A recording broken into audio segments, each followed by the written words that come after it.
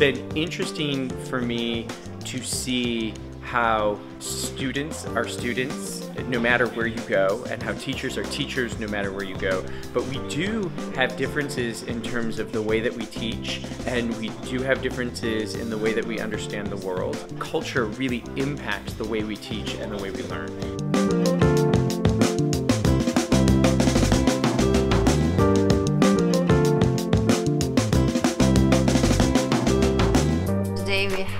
Apple uh, film editing event at TISA School, which is our strategic partner in education in Azerbaijan.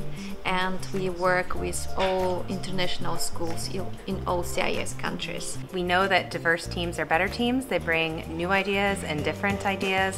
Where technology comes in is it makes it easier by connecting and sh sharing out our, our vision, what we want to get done involving more people in it, we're able to do more. We're learning from each other because our our world is one big global classroom and technology really allows us to connect. It is very important when, when you can exchange ideas of learning and works of students and techniques you use in your education processes. It's very important for us.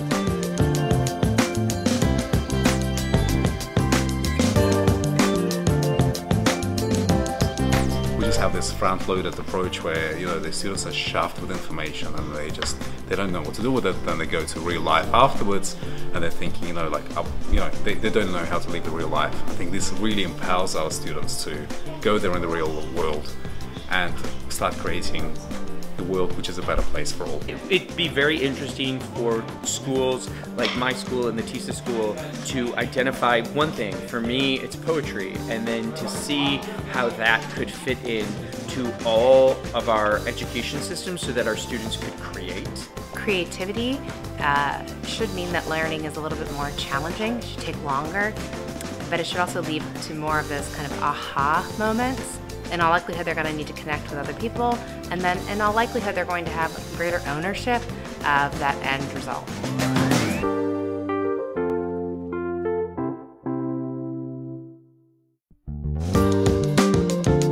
Uh, I love Baku and I love Azerbaijan. I think what is most interesting is that compared to other cities that I've been to, there really is this mashup of cultures. You see the influence from the, the uh, European neighbors, but then also from the Asian neighbors, from the people who are below, from the people who are above. And as you look at the architecture of the city, to see sort of the Gothic and uh, older buildings next to um, sort of Soviet style block buildings, and then to see the modern culture um, with their fire towers and just all the beautiful modern architecture that's being built.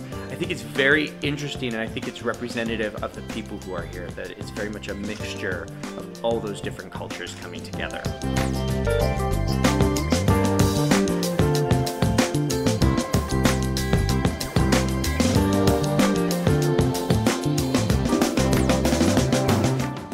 Exciting when people exchange and they share their ideas and they get inspired. It is the most important part of our work.